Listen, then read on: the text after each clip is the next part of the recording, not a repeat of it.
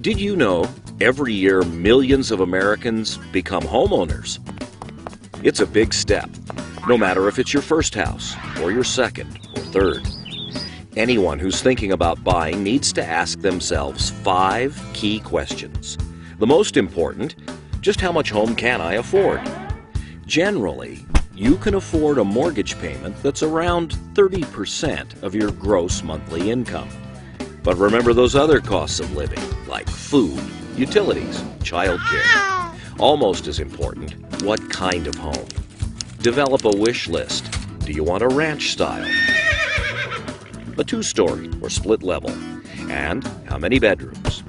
Bathrooms? Small yard or a big yard? And then, where do you want to live? What neighborhood?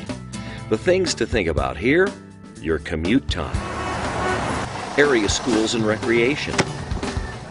And then, after you've nailed down your dream home, do you have the down payment?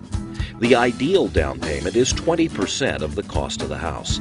But you could go as low as 3.5% for FHA financing, but down payments don't include closing costs. And remember, the lower your down payment, the bigger your loan, and the higher your monthly payment.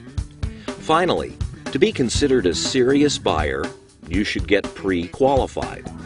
Meet with a lender. Get a pre qualification letter that says how much house you're qualified to buy.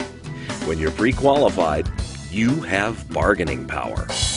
And then it's only a matter of time before you have the home of your dreams. For help in your house hunt, contact a REMAX agent. Go to REMAX.com.